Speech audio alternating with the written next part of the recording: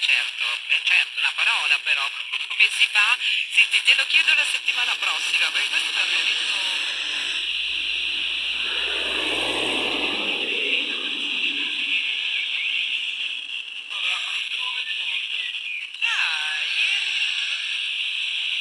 spazia continuamente nel italiana. Io ti auguro una buona settimana. Ringraziamo Filippo Torto per essere stato con Thank you.